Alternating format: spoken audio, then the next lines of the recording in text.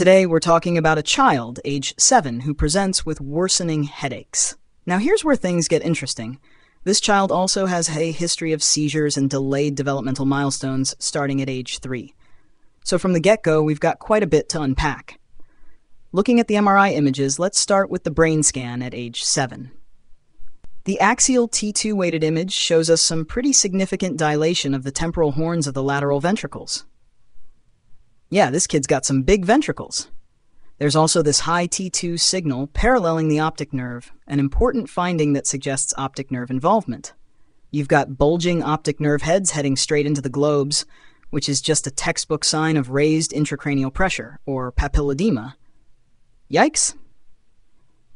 But that's not all, folks. When we switch to the coronal weighted precontrast image, we see these bilateral intraventricular masses at the level of the foramen of Monro. What does this mean? Well, the foramen of Monro is a key point of cerebrospinal fluid flow between the lateral and third ventricles. These masses, which also show up in the post contrast images, are enhancing like nobody's business. This enhancement suggests that these aren't just benign lumps sitting there, they're active.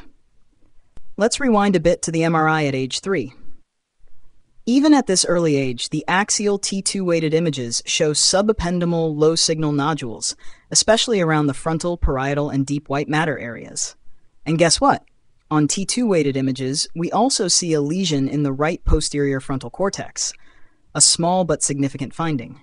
It's a right posterior frontal cortical or subcortical lesion, although it's a bit hard to be super certain on this limited imaging. Nonetheless, it's showing marked low signal, so, what do all these findings scream out? Well, it's tuberous sclerosis TS with large subependymal giant cell astrocytomas, bilaterally. Yep, these astrocytomas are causing obstructive hydrocephalus, which perfectly explains the child's worsening headaches. This isn't just a benign condition, it's something that needs immediate attention, especially with the obstructive hydrocephalus and papilledema. And there's more to TS than just brain stuff. Tuberous sclerosis, for those not fully familiar, is an autosomal dominant neurocutaneous disorder.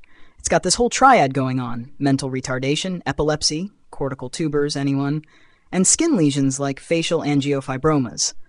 It's also pretty sneaky. Some patients may not show any outward signs until later in life. Now, I could nerd out on the genetics here mutations in the TSC1 gene on chromosome 9 and TSC2 gene on chromosome 16, but I'll spare you the details. Let's just say that neuroimaging plays a huge role in diagnosing this condition. What's really fascinating is that these subependymal nodules that we see, they've got a very specific behavior. In tuberous sclerosis, they line up along the caudothalamic groove and tend to enhance on MR imaging. Subependymal, subependymal giant cell astrocytomas, on the other hand, are a whole different beast. They're benign, but they've got a tendency to enlarge, and when they do, they cause hydrocephalus. They're like the overgrown houseplants of the brain. They start off fine, but then they block the foramen of Monro, and suddenly you've got a backed up plumbing system, so to speak. Cortical tubers, which are another feature of TS, are also commonly seen. They've got these broad, lazy appearances on imaging, and although they're pretty common, they don't always cause symptoms. What about the management here? Well, step one is getting this child stabilized. Neurosurgery might be required for the astrocytomas because obstructive hydrocephalus is not something you want to let linger. Once the child is stable, follow up imaging of other systems, think heart, lungs, kidneys, is crucial. Why? Because TS isn't just a brain condition, it's multisystemic. In fact, tuberous sclerosis can affect everything from the kidneys, angiomyolipomas, to the heart, rhabdomyomas, to the skin, shagreen patches and ungual fibromas. Anyone? So, this child is going to need long term follow up to keep an eye on things. Phew, that was a lot, but I hope I've managed to break it down in a way that makes this complex case a little easier to digest. Thank you for sticking with me through all the twists and turns of this fascinating condition.